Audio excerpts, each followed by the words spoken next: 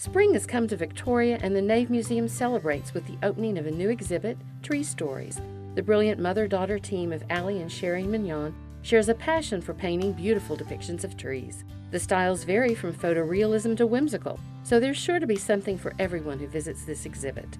The tree is the first image most of us learn to draw in childhood. These artists take that original idea and create a forest of inspiration that Victoria is certain to love. Proudly sponsored by the Victoria Television Group.